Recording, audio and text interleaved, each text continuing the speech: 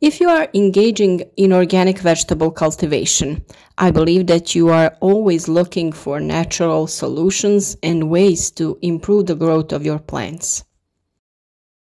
There are many supplements that are not harmful and that can encourage plants to grow better and bear fruit better.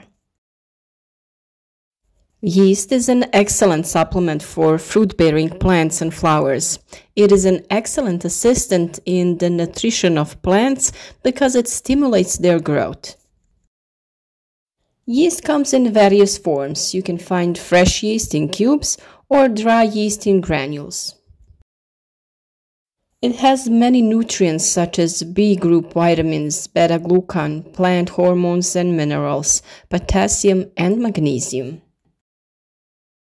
On our channel, we try to give advice that will help you in the ecological cultivation of plants. Look for various video tips on growing fruits and vegetables, so if you like it, subscribe to our channel.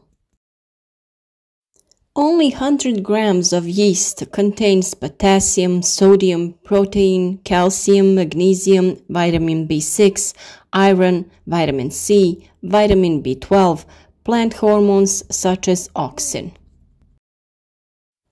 Plant or phytohormones are chemical substances that in plants cause cell division, increase in cell mass, cell differentiation, morphogenesis. These are natural substances typically found in various plants and microorganisms, as well as in yeast. Plant hormones, auxins, have been found in yeast. Auxins are used for propagation of fruit trees ornamental plants, trees, flowers, and cuttings, for stimulation of fruit growth in tomatoes, cucumbers, and apples, for weed control, and to prevent falling of prematurely ripened fruits. Yeast can be found in various forms yeast cake, dry instant active yeast, granulated, and liquid yeast for bakery purposes. In the plant, yeast causes release of heat and heating of the plant soil, the activity of microorganisms present in the soil, increased content of micro and macro elements. Fluctuation in temperature. Frequent rainfall, too high temperatures are not good for the plants and cause problems for vegetable gardeners. In order to fight against various diseases, the most important thing is to feed them well and raise their immunity. Now we're going to show you the preparation procedure for this mixture. You should mix 50 grams of fresh yeast and 3 to 4 tablespoons of sugar in 1 liter of warm water or warm milk. Make sure that the water or milk are not too hot, as it will destroy the fungi. Next, you have to leave the mixture to swell about 2 hours.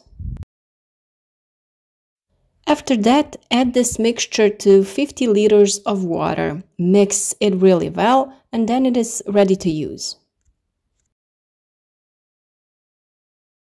If you have only dry yeast, then you should do it this way. Use one bag of dry yeast, that is usually 8 grams, and a few tablespoons of sugar in 1 liter of warm water. You should always leave that mixture to swell for a while so it dissolves in a good way and then add it into 50 liters of water. During spring and summer, use this fertilizer every 15 days on all of your plants during autumn and winter in your greenhouse or with indoor flowers. You can use it every month. The thing that you should remember with this kind of fertilizing that the soil watered with this solution loses a significant amount of calcium and potassium, so add these minerals to the soil from time to time. You can do that by adding wood ash and you have a special video about that procedure on our channel. What is also good to say that you should always make a fresh amount of this fertilizer each time you want to use it. Yeast is an excellent helper in the nutrition of plants because it stimulates their growth. Nutrition of plants with yeast is effective in all stages of their development, although it is best to apply it when planting because it strengthens the root system. Also, it will accelerate the flowering and ripening of the fruits, so it is often used when growing tomatoes, peppers, cucumbers, zucchini, and other fruitful plants, as well as your flowers. Yeast contains many minerals, nitrogen and phosphorus, but also enzymes that activate the action of good bacteria in your soil. Fertilizer that is prepared in this way you can always use on all of your vegetables, but also you can use it in fertilizing all of your flowers. The sugar that is in question here is table sugar, of course. One molecule of sucrose is made up of one unit of fructose and one of glucose. Both of these types of sugar can be used by the yeast as well as by the plants for natural supplementation. By adding sucrose to the water and yeast solution, the activation and reproduction of yeast biomass is stimulated. The nutrients that yeast does not use will be used later by your plants. As I already said, this natural supplement with yeast is very good for your plants and flowers. To prepare a nutrition solution with yeast, you need 10 grams of fresh yeast, 1 teaspoon of sugar, and 1 liter of warm water. Since a smaller amount of yeast is used in this case, this solution does not need to be diluted. The preparing process is almost the same as the first one. Dissolve the yeast in water and stir it. Then add sugar and let it stand for 1 to 2 hours. With this mixture, you can water the flowers twice a month in winter and three times a month in the summer. The solution prepared in this way will serve you as an excellent natural fertilizer for balcony flowers as well as for indoor flowers. Yeast for watering vegetables is a good source of natural plant hormones that will stimulate the growth of even the most demanding plants and their fruits. Yeast used in this way to water your plants with its intense smell can be effective against snails in the vegetable garden.